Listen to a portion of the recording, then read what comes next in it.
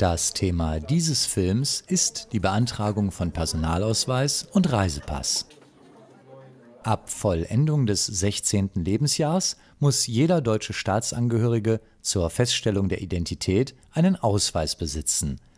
Dieser Ausweispflicht kann man mit einem Personalausweis oder mit einem Reisepass nachkommen oder auch beide Ausweispapiere beantragen. Die Pflicht, einen Ausweis zu besitzen, beinhaltet übrigens nicht auch die Pflicht, diesen ständig bei sich zu tragen. Ab hier sehen Sie den Film im Schnelldurchlauf. Im Original haben die neu und hochwertig produzierten Schulfilme eine Länge von drei bis zehn Minuten.